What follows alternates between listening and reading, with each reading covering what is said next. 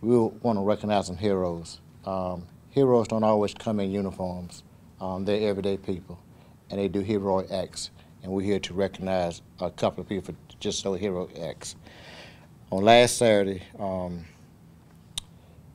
Alex Jackson and Danielle Brown saved the life of a four-year-old Chanse Chapman last Saturday. At a, they were at a pool party.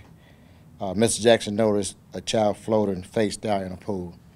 They cleared the child's airway, did CPR. Uh, fire and medical crews got there, and today the child's okay. And we just want to recognize um, them for what they did. Um, it's not every day that people would jump in and, and, and you know and, and put themselves at risk to save others. So we just appreciate what they're doing, uh, what they did on that particular day. Uh, we do have um, Ms. Dorothy Chapman here, along is here with us as well, um, along with her child. But we're so glad to see, you know, walking around and just be, being a child. You know, that that is great. So at this time, we want to present um, a recognition to both um, Alex Jackson and uh, Danielle Brown. Certificate of recognition for extraordinary personal action. The Columbia Fire Department wishes to award Ms. Uh, Danielle Brown and Mr. Alex Jackson on their courage and selfless act presented on this day, uh, June 29, 2018. In addition to that, um, I also have a, a personal coin that I, that I um, give out as well.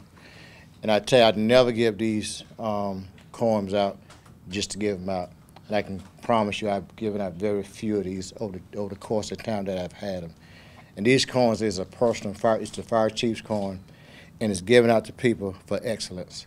And I think this really warrants them getting this coin for excellence because they're heroic acts. I would like to thank you all because if it wasn't for y'all, my son would not be here today.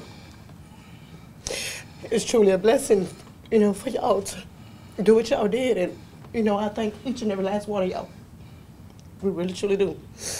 Uh, it's not one day that goes by that, you know, I want to cry and I think about it. But by the grace of God, I just thank every last one of y'all. Just thank you. We really, truly do.